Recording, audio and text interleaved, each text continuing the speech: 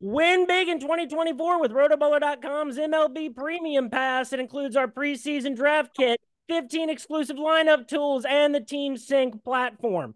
Get customized rankings for your specific league format. Sync your leagues with Team Sync and use our new live draft assistant. Then get customized advice for your scoring settings. Get a discount for any MLB Premium Pass using my promo code Knuckler, K N U C K L E R. Just visit rotoballer.com, sign up today, and start rotoballing like a boss. This podcast is also brought to you by Parlay Play Fantasy Sports. Use my referral link and my referral code Roto Brady. Get that sweet, sweet deposit bonus and get in those player prop parlay contests. They got free contests, paid contests coming to a state near you. That's a great format. Go check it out, folks. And what is up, everybody? This is Brady Grove bringing you another interlude episode of Rotoballer's official MMA podcast. Tap that. It's an off week for the UFC. This is Sunday, January 28th as you all know, I love the spring and alternative professional football world. I love the changing landscape of college sports that the last few years of the NIL and the transfer portal, the greater exposure at all levels of college sports for athletes that have a chance to take it to the next level. I love it all. And with me today he is described as a running back slash fullback, 5'9, 210 pounds, coming out of Elizabeth City State University, a 2023 draft prospect looking for his first pro opportunity. That description, by the way, is brought to you by Luke Miller. Uh, follow him at Luke Miller PFN for spring football updates. But give it up for Ja'Ree Pitt. Ja'Ree, thank you so much for being here, man. How you doing today? Yeah, How about yourself? Oh man, I'm doing good, and you know, I- I'm glad we were able to put this together so quickly. And first off, man, so Elizabeth City State, that is a Division two school, an HBCU out of North Carolina. Uh, are you like a North Carolina native, and it, that was like a regional area for you that kind of brought you there? Yes, I am. I'm from uh, a place called Ahoskie, North Carolina, and it's about an hour away from Elizabeth City State. Okay, and so like, was that just a place that reached out to you during your high school career and wanted to wanted you to come there? Well, actually, uh, they showed some interest, but I originally went to a school called Methodist University in Fayetteville, and they're D three. And then after my sophomore year, I transferred to Elizabeth City State, and during that time, uh, like COVID hit and everything, so uh, they actually, as a HBCU, like I saw like how they poured into their students, like the opportunities that they gave, and you know, just the HBCU culture, like it stood out to me. And so that's that's something we can start off talking about because over the last few years, HBCUs have. Or not, are you hearing like a little bit of like feedback in the back? Like I'm just making sure that isn't me. No, you're good. Okay, okay. So um HBCUs over the last few years, there's now you know showcase games and you know events set up just to showcase talent at the HBCU level this is an era now where D2 schools have their own network. You know, a lot of those conferences where you can watch all those sporting events. There's more information out there for scouts to evaluate than ever before. So, you know, what are kind of the resources and the opportunities you were talking about that appealed to you to an HBC D2 level? Well, uh, some always, uh, some. Well, I got a chance to play in a bowl game called HBCU Pigskin Showdown, and that was an opportunity where um, me and like some really good D two, I mean like D D two D two, I mean D one D two like D three football players who play for HBCUs. We got a chance to go to Alabama for a week, you know, kind of like look at the culture, what they had, and also like get to showcase our talent in front of NFL scouts, uh, indoor football scouts, CFL scouts, and like that. That was an opportunity that a lot of us don't get because of like us being from like those smaller cities. I mean, you can go to Texas and find a couple HBCUs, Alabama, Georgia. So you know, for them to come all the way out to Elizabeth City State, you know, want some of us to go, it's a great opportunity. And it's it's crazy to try because I will talk a lot about you know the issues with scouting, you know, uh, uh, just from the fact that so many players you know fall through the cracks and don't get noticed. You see them successful at the level. Um, but just the sheer amount of volume that's out there at the D2 level, so many D2 schools, a lot of people just don't get to follow that season.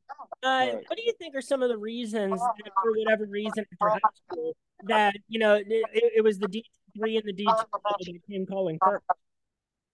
Uh, I think a few players like that have gotten the opportunity to play in the like NFL or like USFL, XFL, those different leagues, and also like the CFL, like they've made their mark because they, I think those scouts found diamonds in the rough. Like you know, we seem to have that different passion and that work ethic. Like you know, we're always fighting because we're always looked at as not being as good as you know those at those bigger schools. So we have that grit about ourselves. So like no matter what, we're not complacent. You know, I play with guys who I see like who I know could play on Sundays. Like I played against guys who are like playing on Sundays now, and it's like just the opportunity to know that you know it's that much talent in D two football, like D three football. It makes a difference, you know. And there's a lot of times it seems to be uh, because of where those other guys are from. That could be the reason why they end up at the school that they do. And Ja'Ree, someone who is just like to someone who would discount a player from the D two and say, you know, not playing against the same level of competition as the D one You know, what do you respond? What would you say in response to that? Because now there's so much talent in football, basketball, and baseball that you you really do find legitimate talent all the way down to the NAIA and JUCO level. Right. I would tell them, uh, when they come out there and step on that field, I mean, you know, they think just because we're not a D one school, like the talent's not the same. Like the same way a linebacker in a D one school will smack you in the mouth. I see one at D two, D three, NAI, JUCO. Like it's it's all about what you're willing to put into it, like to get out. I mean, you know, if you're that good a player, you know, you, of course you're gonna make some other players look like they're not that good, but it's all about how bad you want it. I mean, just just like at D one schools. I mean, you don't want it bad enough, you know, you don't look as good as those other players, but because it's a very competitive sport, like we're competitive people and we know where we want to go of course we're gonna you might not think because of where we're from you know it's not the same but if you get out there on that field i think a lot of people will change what they uh, change that comment. And so like the nai nai nil came up you know while you're a college athlete and it changed things you know at every single level and you know, particularly for women. Um and so w- were, were there any things that ECSU did while you were there to try to kind of, even though they're at the level, to try to, you know, keep pace with the times and try to make sure that they're doing everything they can to excel in sports. Oh yeah, like they were, they were definitely putting us as players out there. I know, like, uh, I got an opportunity to uh, collab with a, a brand called Stadium Merch, and like they gave me the opportunity. Like they made like hoodies, uh, t-shirts, like hats, book bags, like everything. So I got opportunity to do that. Uh, had a couple teammates. I had a teammate who was actually sponsored by Crocs because of you know NIL. One uh, who get sponsored by Body Armor. You know, like uh, what's this? It's another one they do like uh, like water and different stuff like that. So I got the opportunity like play with some guys who actually got some of those deals as well as get one on my own, and it was it's a pretty surreal opportunity because you know being from a smaller place and going to a small school like Elizabeth City, like you know, it, it makes you feel good. Like you know, someone's out there looking at you. You know, you're doing a good thing. And it's so funny too, man, because like not long ago, telling you know, were we were telling kids growing up, like you know, have backup plans because not everybody can be a pro athlete. And then you look at so many people that it's like, the difference between a pro athlete and you know a very large portion of college athletes now? You know, and it's like it, it was so unthinkable just a handful of years, uh, a few years ago, and then you get like like you said, like there's hoodies, there's t-shirts, there's you know deals, and you you see your name things, and you're actually able to profit from it. It's amazing. I think it's an amazing opportunity, like you know, just the different deals that are out there to actually players get a chance to be a part of. I mean, because honestly, I mean, it's a lot of money being made off of like football players and just like from other sports as well. I mean, so I feel like that's a good idea for them to be able to, you know, make some type of, you know, money. I mean, there are a lot of like stories before because of not having NIL, like a lot of college athletes were poor going through college and their only opportunity was to play football and everything like that. But now this helps students, you know, as student athletes get that chance to have some type of conversation in their pocket, you know, while they are playing the game. And you know, it it also lets those athletes that take themselves apart or have a personality or charisma, it, it lets them take greater advantage of that, you know, because it's not just about the fact that they're, you know, the athletic offices, the TV networks, they're the ones, you know, that are making money for the on-field product.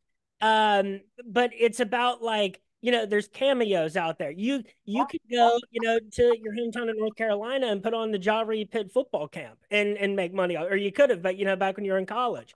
So it's it. I think like before NIL, and I've said this at like endless length on this show, but before NIL, it was like, who's this really going to affect? And it turns yeah. out that it was everybody. Right.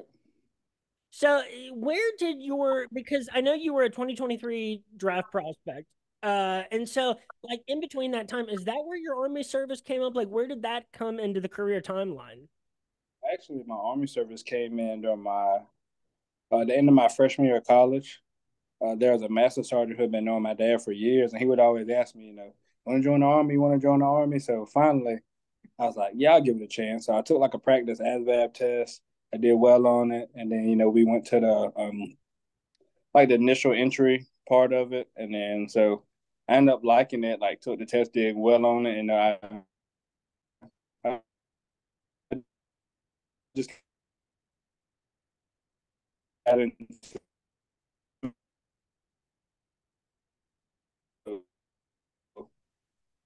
it taught me a lot of toughness. But uh, it was definitely, you know, just it's played a pivotal point in my life. Like it's helped out a lot. Like uh, a lot of people don't think a lot. I think a lot of people when they think about the army, they just think about war and all that stuff. But it has a, it's played a big part in like you know my education. Like my education is paid for. Like you know regardless, you know I'm, I can get master's degrees, doctorates, you know, and it's because you know of my service for the country. So it's, it came in uh, after my sophomore year. That's not with the basic training like officially, but it's just, it's been a big part of like who I am. Like it, it, it teaches you values and it's always helping to have that toughness like on and off the field. And so there's the psychological aspect of how that's helped. And then, you know, we from every level. There's, you know, the way the Coast Guard football plays, the way Army Force play, the Citadel, VMI. Like, there's very like specific types of people that do very well for those football, especially when they're running an offense that is advantageous for them, like Army and Navy and Air Force have done for years. One of those positions is running back fullback because those teams pound the football, you know, the, the vast majority of the time. And that's why, you know, teams like Army and Air Force lead the country in rushing, you know, the last few years.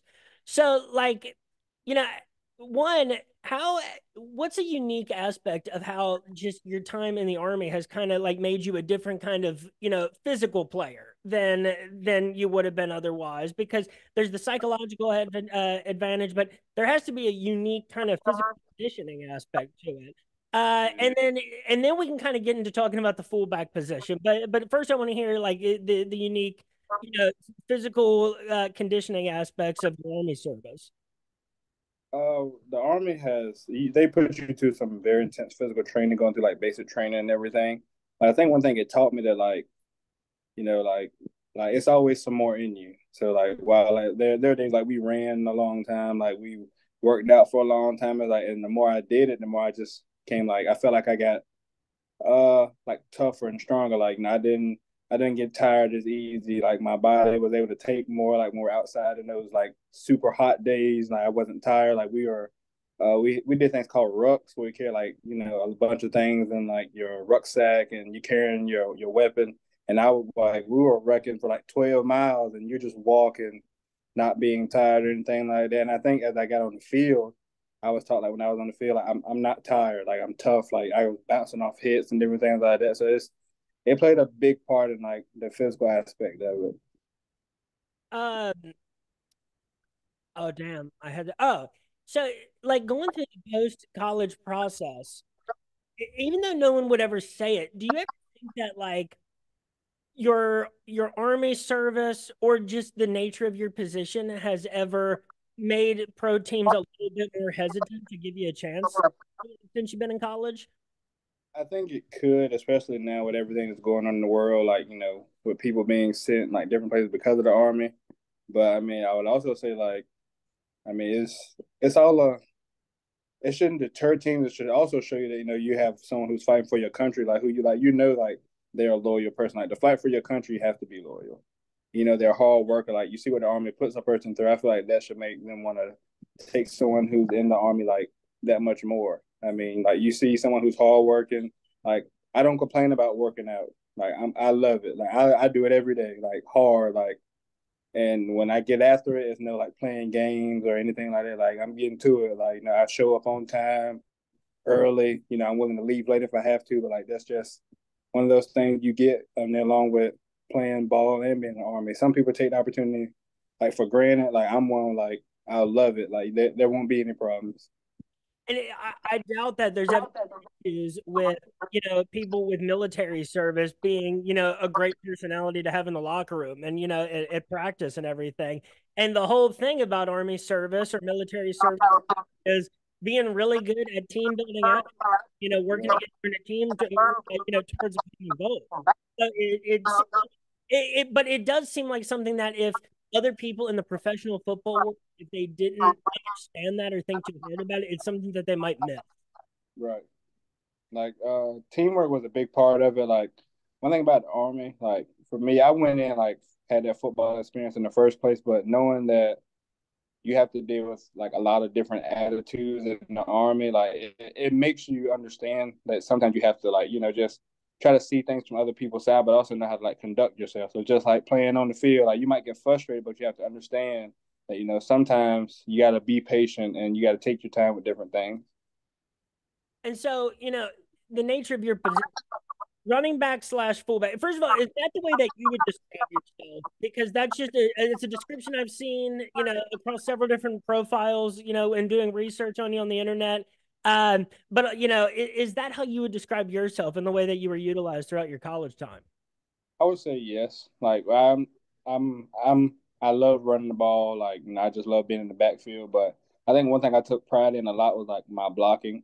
Like I, I enjoy like pass pro drills, like pass pro in the game. Like I loved it. I mean, you know, because it's another way to make an impact without having the ball in your hands. And a lot of people don't really like the block. You know, if they see big D linemen or linebackers coming out, they kind of stray away or try to like, you know, give them a side shot. Like I enjoy that part of the game. So, you know, I don't and I don't mind blocking for others. Like if they need a like a slimmer guy, you know, to come in so he just dart up the field, hey, I'll block for him too. Like I've blocked for quarterback leads, quarterback draws and it's it's fun being able to get out there, you know, just kind of own somebody without having the ball in your hand.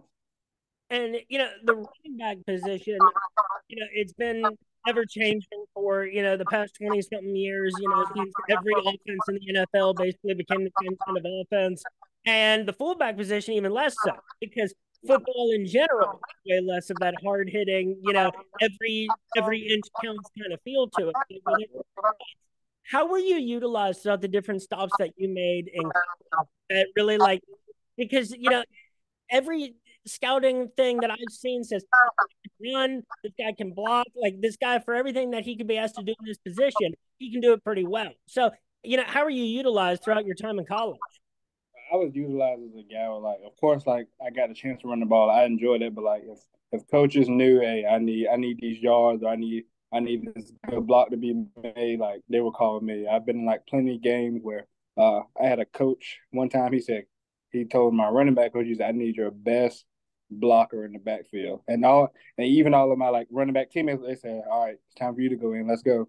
Like no matter what it was, because they knew like I enjoyed blocking that much. I took pride in it. Like there were even some days where like we might be in practice and like coaches putting in like certain plays and like we get in the backfield, like, nah, I want to block for this one. Like, I don't care who runs the ball, I want to block for. Like, just you know, because you know your ability and how much you take pride in something. Like, you know, bl- blocking is a huge part of the game. Like, if nobody blocks, nobody gets anywhere. And it's crazy because fullback of all things in a, in an era of football where everybody is looking for their Taysom Hill or for their like Swiss Army knife, a guy that can do multiple things you would think that the fullback position would become a lot more popular just because you can use him in a running back capacity, blocking, and even even you being at five nine, not the typical height of a tight end, you can use a fullback in very similar ways, you know, and going out for short yardage plays and and you know blocking in those kinds of plays too. So if anything, you would think that the fullback position would be gaining popularity in this era, but that has not seemed to be the case. I think there's just been I guess like a miscommunication, like along somewhere. I mean, because fullbacks, a lot of them can do everything. Like uh, they, we, we are, we are, we need to have the speed and everything of a running back and be able to do the tight end's job, the lineman's job, and just like running backs. I feel like a lot of times they've taken running backs and just made them those types of guys. So you know, like you have some guys who play running back now who are nice size and can do anything you ask them to do. Like you hardly ever find Derrick Henry's everywhere. Like he's just a load of a man. And you know, you also have, you know, your Gus Edwards, guys like that. So guys who can do that ground and pound, but you can put them out in space and catch the ball, or you need them blocking the backfield. But uh, I think a lot of them just, I think they just kind of forgot about fullback and thought like they could just do it with some running backs. But you see teams like the 49ers and the Ravens who utilize the fullback because they see how vital it can be. And you know the 49ers too, you know with uh with Kyle Juszczyk and uh the Bengals had a player like Ryan Hewitt just a few years ago who I thought even was you know still pretty underutilized. And schools that come out with, I mean, North Dakota State has been fullback you for you know the last few years, uh, and it, it, seems like there are just uh, there's a very select few niche pockets of people that know how to use that position properly. Most of them just shredded everything they had on that position. Right. I feel like if you can use a fullback in your offense, like you're opening up more opportunity for plays to come through. I mean, if you see those guys who actually play fullback, they've getting there and made some really vital plays for teams when things are on the line. You know, everybody, you know, and like those short yardage situations, they see out formation, they expect the fullback and running back to come straight up the middle. But when you have that fullback who can sneak out in the flats and still pick up those yards, like I feel like that's a really vital thing that a lot of teams and coaches like kind of forget about and you know a, a place where that, like dual you, as versatile as possible you know role has been big is like the indoor football league where a lot of people you know play multiple positions um and you see a lot of fullbacks also play linebacker defensive end uh things like and that kind of brings me to the next topic which is you're looking for your first opportunity really in professional football. Um, what was the last year like? What what have you been up to, you know, since you were done with college football? Uh, the last year has been just a lot of like me reaching out to different coaches, you know, different staffs. Uh, I got the opportunity to work out for the uh, Montreal Alouettes. I did that. I was in Charlotte. I got a chance to work out for them. I had a pretty good day there. Uh, never heard anything back, but like I knew like I put some good I put out some good things on film as far as like running routes, catching the ball, just you know being being a good running back, being a good football player. And I also had the chance to work out. Uh, I went to a trial for the in DC for the DC Defenders, and I had a good day there. Like it was fun. I enjoyed it. You know, just the XFL opportunity was just you know really amazing. Like to see how many guys showed up for it and how many guys who are fighting for opportunity like me but like in the meantime, I just been like reaching out to uh, different coaches, you know, different like staff members, and some things. Have, you know, I feel like things have been coming around. I'm just like being patient, believing God. I'm just working hard every day. Like every time I get opportunity, when my feet touch that ground, I'm getting after it every day. And the DC Defenders, now that is a team that I think would know how to use a fullback properly. That was, I mean, essentially the way they used Abram Smith this past year in the XFL. And there's not a quarterback on the DC Defenders roster this past season that couldn't run if they needed to. Um, and so it, it, you, it sounds like you like you put like good feelers, good word out there, like by getting those opportunities, and not just like you know because some of these staffs can be a little protected in how they talk about players that they work. With. That's a little silly, especially if you're not going to sign someone. But you know how like different groups are. But you know it's also that there's way more, you know, internet talk and media coverage of all the alternative professional football leagues. You know, if you do a workout for the Montreal Alouettes, it is entirely possible that someone's writing a, an article about that, you know, on, on some different space. So it, it really like as long as there are professional football opportunities, you uh, know, the, the media coverage and all, I mean, podcasts and Twitter accounts and blogs have come along to kind of like, you know, press the fast forward button on the, the development of some of those. Right. Uh, I think social media has played a big part of me even getting these opportunities. You know, like Luke Miller helping out, like even me like pushing my own self out. But like social media has become a vital part in players getting an opportunity. I mean, because social media kind of runs everything. If you want to find out something, you can go to any social media platform just about, and you're gonna find what you need, if not more. So I social media has definitely helped out a lot. You know, just being able to communicate with different coaches and their staff members. Like it's been amazing. And so you know, there's more like options for you. I can't imagine what it's like right now if you're an athlete looking to find professional opportunities. there's services, there's scouting profiles, there's people, you know, pay people to make videos or they have a, at least a friend who can do it. There's podcasts and all these di- the the different media outlets that cover it.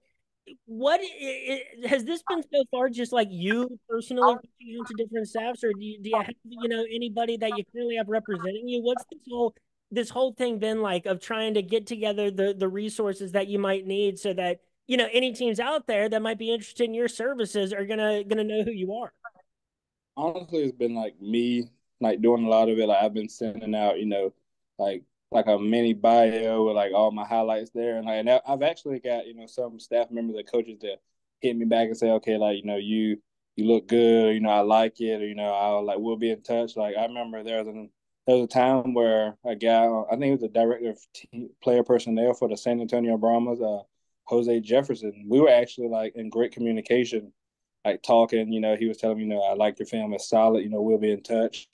But I guess along the way with this merger, like you know, either he's big, big and just like so many different things happen. You know, there's been a lot of things. I'm just fortunate knowing that you know, somebody of his caliber and his status told me, hey, like, you know, you have good film, you know, we'll be in touch. Like, it lets me know that I can play on that level and I'm just, you know, waiting on that opportunity. And, you know, the Brahmas too, man, like that's a team that's exactly how they used Jacques Patrick the last year of the XFL. It's smashing forward. And, you know, it, it has been crazy with the merger too. And it's a damn shame, man, because I wish even if there was only one league and they merged, I wish there were still 16 teams because now, you know, as stacked as some of these spring teams are now, you know, you got three quarterbacks that could start in a spring league, you know, on one roster for a lot of teams, and all the best wide receivers are in. But there's just a lot of people that, you know, who were looking for an opportunity in professional football that might have got pushed to the back of the line because it's an arms race right now in these spring leagues. Right. Uh, I think the merger it it did some good things and some bad things. I mean, like there are a lot of good players out here who are like out of an opportunity, or like you know they're either they were right there at it and they got like and they got shorter because of this merger, and I think because of that, like because of them going from sixteen teams to 18, teams, it really took away a lot of that talent. Like I mean, there is a lot of talent that is like not on a roster right now, and if they got a chance to be on that roster, like I feel like all 16 teams could have great teams, to be honest. Now you're just like eight powerhouses. Like, I mean, and even those other eight teams, they would have had them, it'd be the same thing. I mean, there's a lot of players who can do some great things like out here. And people don't realize it either because there's there's the NFL and they all have people on camp deals and practice squads. There's so many great college football players that you don't even know where they're at because of you know how temporary these deals are. And honestly, the the disservice that I think it is is that I don't think the NFL team give too much a damn about a lot of those guys. You know, it's like, oh, I will sign this guy for a little bit. We'll move on. Like, but it's like, dude, that guy could be a spring quarterback and has a lot to offer. I don't think they think a lot about it because it's not a situation that they often hope to be in. And even right. desperate NFL like franchises, I, I think there's a lot of sticking with the status quo and it when it comes to football scouting and not really to, throw too many crazy ideas out there because you don't want to look you'd rather you would rather look like you're not doing anything sometimes as a football scout than end up saying something bold that makes you look bad at some point. But the leagues out there. There's mexican professional football.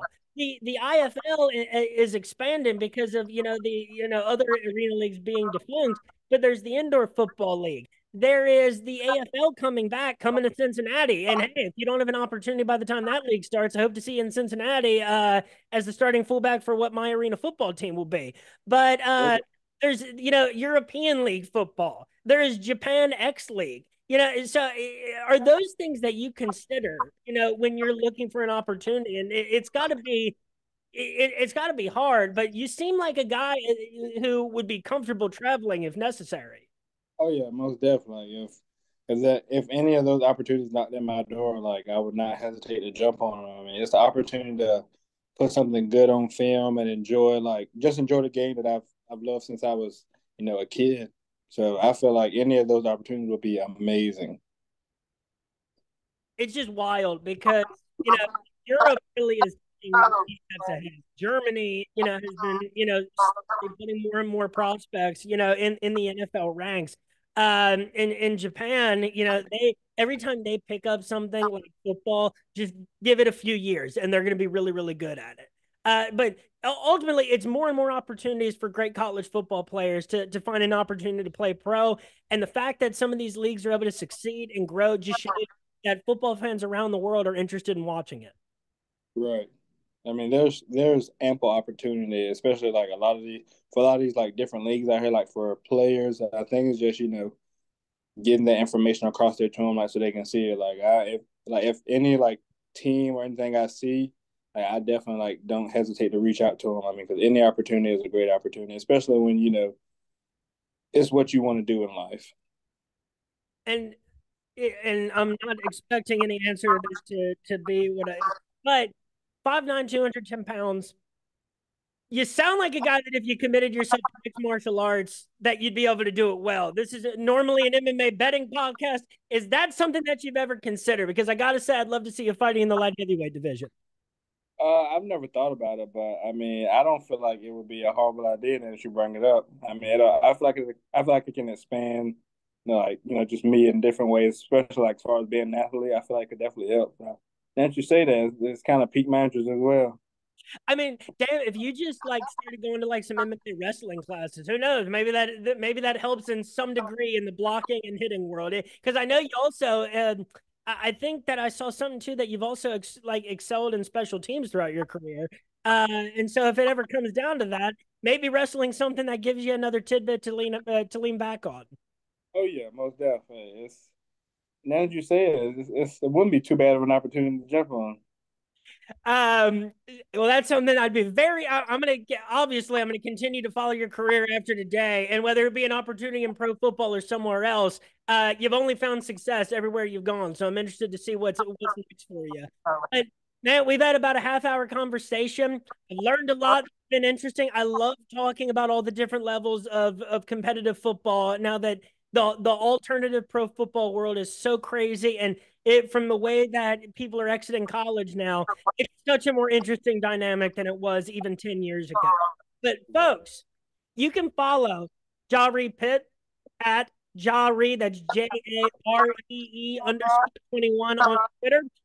Ja'Ree, if there is anything else that you want to say, anything you want to pitch about yourself, whatever it may be, the floor is yours. Uh, I would say that whatever team and ever like staff decides to take a chance on me, like they won't regret it. Like they won't ever have to look at me like, oh, like this kid doesn't work hard. Like every time I step out there in the field, weight room or meeting, whatever it is, they can say, okay, this is the kid. And like we had, you know, if we had ten more of these types of guys on the team, like we would be amazing. So I'm the guy that when I when I when opportunity comes my way, I will not waste anybody else's time. Folks, this has been another interlude episode of RotoBaller's official MMA podcast. Tap that spring football season is coming up. It's been quite an off season. You're going to have to start learning now to familiarize yourself with everything that's going on in a couple of months. This has been an episode with Ja'Ree Pitt looking for an opportunity in professional football. Follow him on Twitter, check him out, share his information, make sure that the word gets out. Folks, this is an off week for the UFC. Hopefully, I'm coming to you on Monday with this. So, have yourselves a great week. Tune in next time for my picks for another UFC Vegas event. Have a good one. Peace